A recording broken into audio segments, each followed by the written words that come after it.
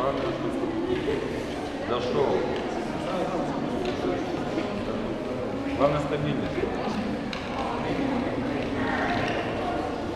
Лучше медленно пойти, быстро не доехать.